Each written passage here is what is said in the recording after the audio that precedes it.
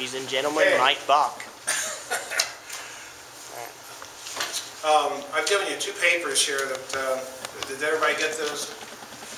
One is from, uh, it was a report on the Dayton Daily News written by Kevin Kelly, who's the Dean of Education at UD, and Frank DePalma, who was the superintendent uh, at Centerville Schools. And uh, they're writing a report here about the new report cards and the fact that uh, most schools are going to be downgraded. Okay, so right now, the statistics would have it that uh, Kettering and Centerville would actually get a grade of B. This is going to be hard for those communities to deal with. Uh, And and Oak would get the grade of A. Oak is the only school in the whole county right now that would qualify for a grade of A.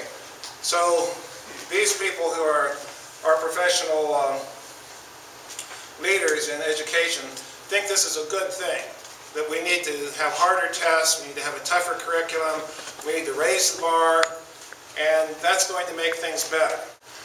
Their theory they're going on, which has really been proven to be wrong, is if you just demand more, you know, that somehow that's going to result in getting more.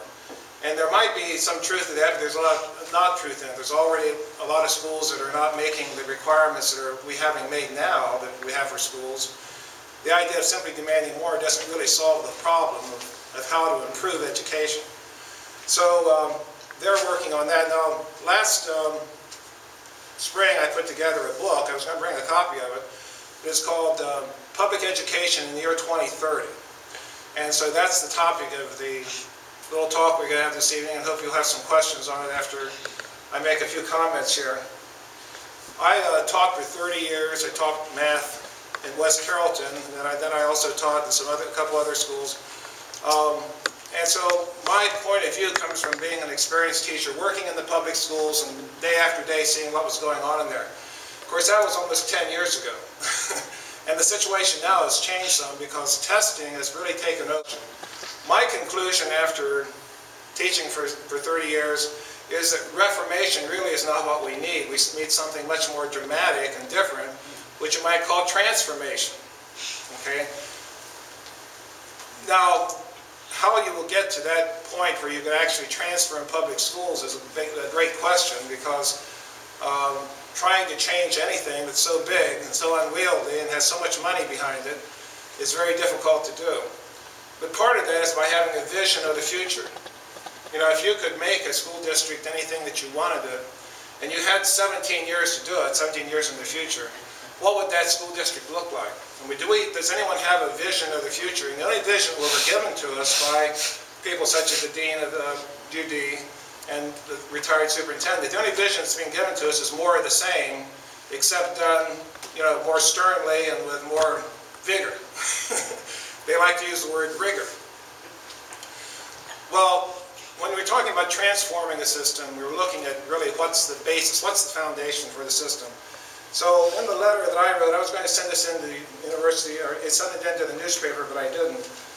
I'm saying that, you know, when you really look at what the guiding principles of our school district, our, our whole school system is, basically there's three things that we seem to settle on after No Child Left Behind.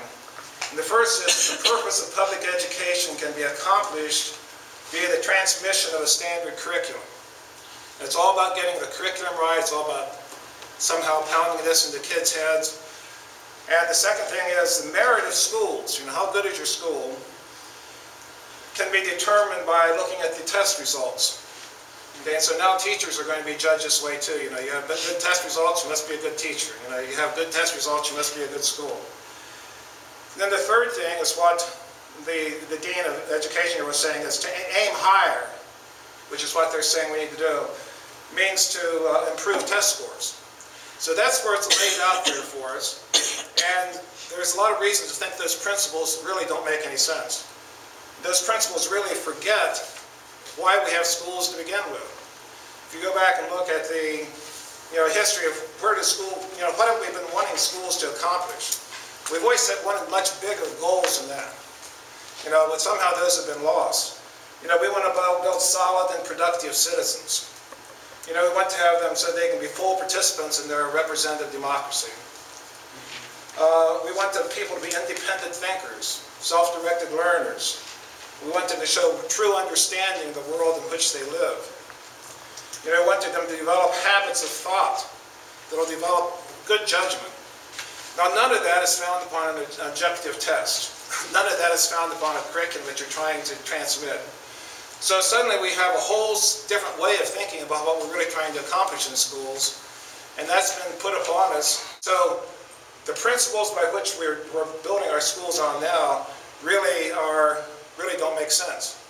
And if we look in terms of the year 2030, you uh, know, what, what, where would we be moving for, means that if we're not simply content in just making this better, you know, we can spend a lot of time arguing, how do we get the test scores up?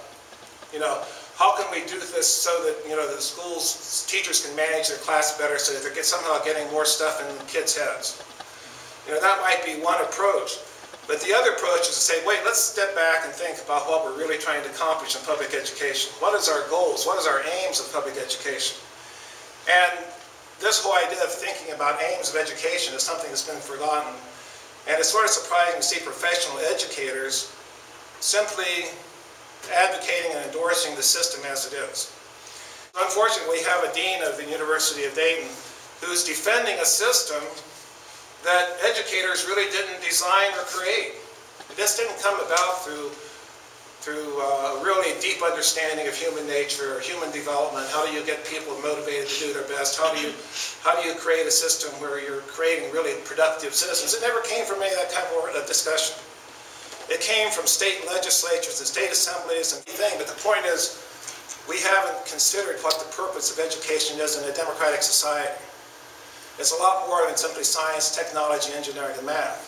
It has to do with creating citizens that are ready to live and participate in a democracy. The statistics you never hear is that right now, citizens age 18 to 30 are the least likely to vote, the least likely to participate, and these are the people that, are, that have the most recent experience in our system of public schools. Surprised how many teachers, you know, if they talk to you honestly, are saying we need to be doing something different than what we're doing right now. This is not working. This is not what we, I went into education for. You know, this is not what teachers should be doing. The whole idea of professionalism with teachers has really been run over in this whole testing thing.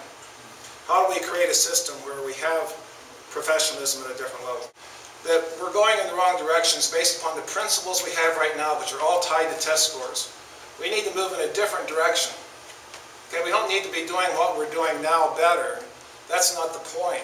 The point is we need to be doing something much different. we need to move in a different direction. And creating a vision of change is something we should be supporting and encouraging people in education to do.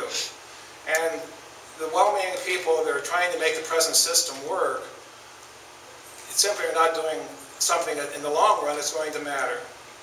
And we need to be supporting a different way of thinking about education. What we need to think about is in terms of how do we create citizens ready for to live in a democratic society, and we're not doing that. So thank you very much. Thank you. Thank you.